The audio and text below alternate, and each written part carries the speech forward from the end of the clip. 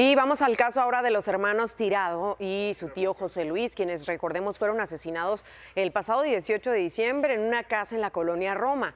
La Fiscalía General de la Ciudad de México dijo que ya detuvieron a otro implicado, a José de Jesús. Es el sexto ya ¿eh? implicado en este triple homicidio. Policías de investigación lo capturaron en posesión de un arma de fuego en calles de la colonia El Sifón, esto es en la alcaldía Iztapalapa. Este sujeto está identificado como uno de los autores materiales y según las investigaciones, durante el secuestro de los hermanos Tirado, sostuvo comunicación con Azuer, yerno de Blanca, y bueno, la enfermera. Ella es la enfermera que planeó supuestamente el homicidio para quedarse con el inmueble de las víctimas.